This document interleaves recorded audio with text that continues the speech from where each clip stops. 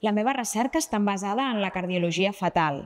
en concret en estudiar com algunes malalties poden afectar el desenvolupament del cor del fetus durant l'embaràs i com podem millorar-les.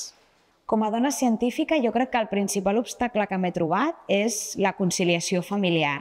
el fet de la maternitat i de poder conciliar el temps de poder estar amb la família, amb els fills, i després tot el que requereix una carrera investigadora, no? d'estar moltes hores al laboratori, dedicar-li temps a escriure projectes, articles o inclús viatge, viatges, congressos, viatges de feina, conciliar tot això amb la família ha sigut el que més, el principal obstacle que m'he trobat. Doncs a les investigadores que ara comencen el que els diria és que tinguessin perseverància i il·lusió,